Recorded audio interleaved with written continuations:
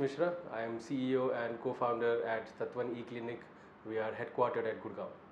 Uh, so far, it has been a good impact. Uh, there is a lot to do. So uh, you know, in terms of telemedicine in India, uh, but whichever small, small isolated efforts that we have had in the country for telemedicine, they have been able to impact it in a very, very big way. Uh, for example, you know, I'll take an example of uh, the Digital India campaign that uh, the government did in the past three, four years, and they included a lot of telemedicine in that. So what they did was they, uh, you know, they, they set up small, small, um, uh, you know, areas, small, small uh, clinics, shops in these tier two, tier three, and a lot of rural cities, and they enabled them to do telemedicine through, you know, for allopathic, they enabled it through Apollo hospitals and Medanta hospitals for homeopathy, there is this another company. Um, for Ayurveda, Patanjali, uh, you know, came into that, and then that has impacted a lot in terms of providing primary care, uh, you know, to to these rural um, population. Earlier, uh, because of the lack of that primary care, uh, all that rural population, you know, because they don't have primary care, they will go back to their, uh, you know, dadi ke sort of methods, and that has been a lot of problem uh, you know, for rural India. So telemedicine, because of the telemedicine and a lot of government efforts, that has been changing a lot. Uh, still, there I don't think there are more than 150 or 200 touch points uh, that has been created through Digital India. So there's a lot to do. There, there are a lot of hospitals who are doing it in their own isolated efforts. But yeah, uh, it has impacted a lot. It is a very good start, but we have a you know very long journey to go ahead. Um, so I will segregate this in two different ways. So one is the rural India, another is the tier two, tier three India. So whenever we talk about telemedicine, everything that we talk about is rural India. But there's a there's definitely a growing trend for telemedicine in tier 2, tier 3 India. If I give you some statistics, more than 80% of specialist and super specialist doctors live in the metros or the big cities. So let's say let's uh, so we are sitting in Gurgaon right now or Delhi right now, and if there is a patient, let's say in in Bareilly, if there's a patient in Meerut who needs a kidney transplant or lung transplant, he has to travel to Delhi. There is no good surgeon in these places who will do a kidney or heart transplant for them. So, and not only transplants, you know, there are so many other things, total knee replacements and lot, lot more things. Um, oncology, cancer, it's a huge problem in tier 2, 3, 3 cities, but you don't have good onco surgeons. So, 80% of these doctors live in these places. So, even tier 2 and tier 3 cities who actually have disposable income, who are willing to travel to Delhi for all that, but the problem is they don't have access in their own cities.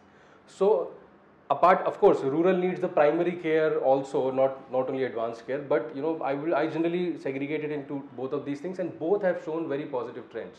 Uh, when rural, as I just mentioned about the digital India, there are lot many players in lot of lot many NGOs are also doing it in rural India, providing primary care, you know, for all that sardi, khansi, zukham, bukhar, those sort of uh, ailments. But telemedicine is also quite extensively now used uh, in tier 2, tier 3 cities to provide second opinion, to provide high quality medical opinion prior coming to Delhi.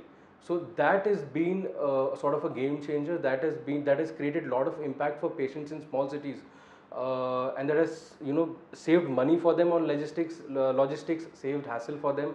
Uh, so it's a growing trend. It's a very growing industry. So far in India, we have had so many companies who are doing telemedicine, but majority of those companies are focused entirely on creating the technology for telemedicine. Uh, we are yet to have companies who are, uh, you know, who are able to uh, provide services, who are able to provide opinion to the patient through telemedicine. Yeah. Uh, so it's an interesting story. So, so Tattvan actually originated from a personal experience of mine. Um, I was uh, in college and this is 2007. Uh, this was first year of my college and I, uh, I had a you know terrible road accident. I was on a bike, got rammed in by a truck and everything. And then my father, because we are from Bareilly, so I was studying in Jaipur. My father brought me to Bareilly. Uh, it was you know it was it was terrible situation. I went into coma and stuff, and then there were a lot, there were a lot of things happening. And one day the, the doctor in Bareilly told my father कि आप इन्हें दिल्ली ले जाओ now this is a phrase which every small towner must have heard somewhere or, or the other in their life कि आप इन्हें दिल्ली ले जाओ. Now this is 2007. Even Practo is not there. So my father went through a lot of you know um, things in his head कि दिल्ली ले जाएं तो कहाँ ले जाएं कितना पैसा लगेगा my my child is still in ICU how do I take him are the ambulances good enough uh, there were a lot of people who were advising him against taking me to Delhi in this condition so luckily, uh, we uh, we um, uh, my father had a cousin who was interning as a doctor at Apollo Indraprastha at that time. He what he did was uh, he arranged for a small telephone call with a surgeon at Apollo with my father, a small five minutes call. Now that was a teleconsult if you if you look at it. But that five minutes call when the surgeon at Apollo told my father, okay, I have understood your child's case. Don't worry, he will survive because the doctors in Bareilly have told my father that we are not sure he is going to survive. He said, don't worry, he will survive. You do this, this, this and this we, we can send an ambulance from here equipped to take your son and you come on these, these, these dates and this is going to be the whole process. This is going to be the average kharcha and all that. Now my father still recounts how that five minutes of a call made him change uh, the overall perspective in terms of how he took decisions for my you know case at that time. And then we I went to Apollo and then uh, go, went through some you know 10 15 odd, odd surgeries. Uh, I survived of course, but uh, so I did I, I lost my leg uh, in that. Uh, and then I came back to Bareilly and then for every um, and then there was a lot of follow-up consultations that were happening. So for every follow-up consultations every 15 days I have to travel back again to Delhi. And that was the biggest pain that I you know I experienced after uh, while I was recuperating. Uh, so so that is an experience that you know remained in my head. I went back to engineering uh, completed it and I've always wanted to do something uh, you know wherein I can offer at least uh, you know that service which my father had because what if someone do not have an uh, you know um, cousin at apollo so what about them right there's so many people who just travel to delhi or अपने किसी relative को भेजते हैं they go from hospital to hospital try to figure out कि कहाँ लेके जाएं what is going to the cost it's so much hassle so much logistics there are even cases when the patient just in, in emergency comes to delhi and they, they just land up at Medanta or Apollo at Fortis and they are so heavily packed that they say, okay, we don't have bed. You have to wait for two days. So they take a ho hotel nearby, wait for two days and then come back to the hospital. Uh, so, so we started uh, one and a half years back. Um, so uh, we started around late 2017. And um, so the first thing we did was we created all the technology and everything. We created a business plan and all that. Uh, and then uh, we started our first clinic uh, in June 2018 in Kabul, Afghanistan to do sort of a pilot run because Kabul, Kabul again is an area which is which lacks the, that kind of an opinion. And then a first India clinic we started in Bareilly because that's where the whole experience for me started on. Um, and then since then we have had clinics at uh, Pilibhit, at uh, Kashipur, at uh, Dehradun recently. We have upcoming clinics in Rudrapur. Uh, we have uh, upcoming clinics in Saharanpur, uh, in Rewari, Bhiwani. So what I'm trying to do is I'm trying to develop a network of Delhi cluster hospitals and trying to connect them to the periphery cities from where anyways patients comes to Delhi for all advanced care treatments. So my plan is to set up you know 50 odd clinics across you know these 200 300 kilometers of periphery in Delhi and connect them to these biggest hospitals uh, for opinion. So we are trying to provide access plus we are also trying to provide a lot of logistics. Uh, so, so in India generally there are two types of telemedicine center. One is which is uh, run by an NGO or the government like a Digital India which I just told and they are entirely focused on primary care uh, which is the rural India.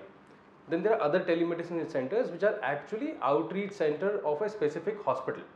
So Apollo hospitals have it, and then a lot, lot many other hospitals have it. Who will put it generally at big corporate places like BHEL? They've put they've put something like that.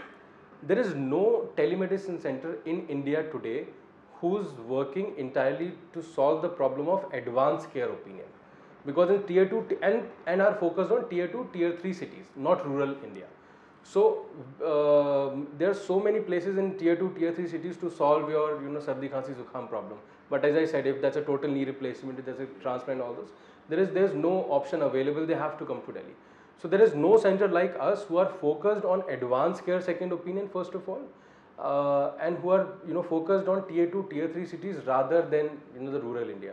Um, so we are actually the first branded telemedicine network uh, in India so far. There is there are a couple of people who are doing similar to what we are doing. Uh, actually, just one, but then they are focused again on primary care, doing it for rural healthcare. So that's a differentiator, that's the biggest of the differentiator for us. So as I said, so we have four, oper five operational centers, uh, four in India and one in Kabul, Afghanistan. Uh, in India is uh, Bareilly, Pilibhit, Kashipur and Dehradun. Uh, these are operational right now. Uh, in the coming month, we'll go, we are going to have operational clinics at Saharanpur, at Rudrapur, at uh, Bhiwani, and uh, at Sonepat. So these are going to be operational uh, by next month.